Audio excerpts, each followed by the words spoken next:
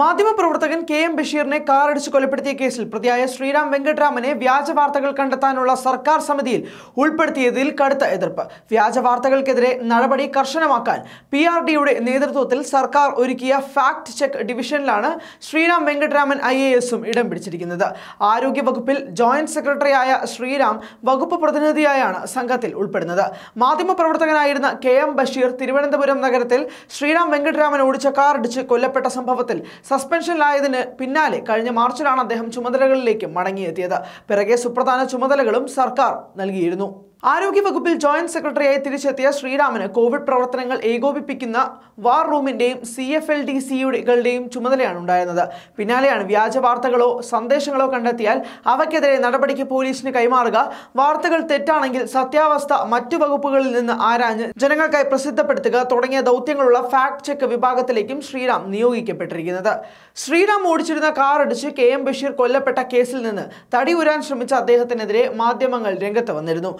മാധ്യമ ഇടപെടലിനെ തുടർന്നാണ് അദ്ദേഹത്തിനെതിരെ നടപടിയെടുക്കാൻ സർക്കാർ തന്നെ നിർബന്ധിതമായതും. ഈ കേസിൽ മൂന്ന് തവണ കോടതി നോട്ടീസ് നൽകിയിട്ടും അദ്ദേഹം ഹാജരായിട്ടില്ല.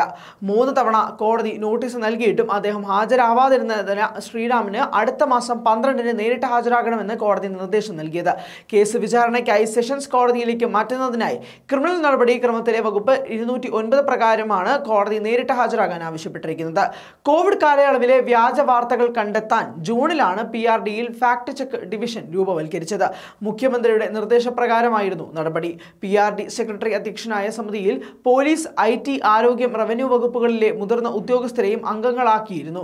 രണ്ട് മാധ്യമ എഡിറ്റർമാരെയും സർക്കാർ നാമനിർദ്ദേശം ചെയ്യുമെന്നായിരുന്നു പ്രഖ്യാപനം.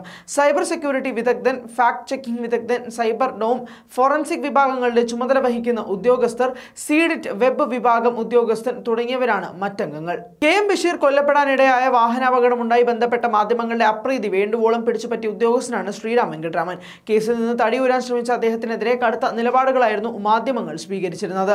ശ്രീറാമിനെതിരായ നടപടിയെടുക്കാൻ സർക്കാർ നിർബന്ധിതമായതും ഈ സമ്മർദ്ദങ്ങളുടെ ഫലം തന്നെയായിരുന്നു. അതേസമയം Sriram വെങ്കട്ടരാമനെ P R D fact check സമിതിയിൽ ഉൾപ്പെടുത്തിയതിൽ മാധ്യമപ്രവർത്തകർക്കിടയിലും കടുത്ത എതിർപ്പ് ഉയരുന്നുണ്ട്. തീരുമാനം തിരുത്തണമെന്ന ആവശ്യമാണ് മാധ്യമപ്രവർത്തകർ രംഗത്തെത്തിയിരിക്കുന്നത്.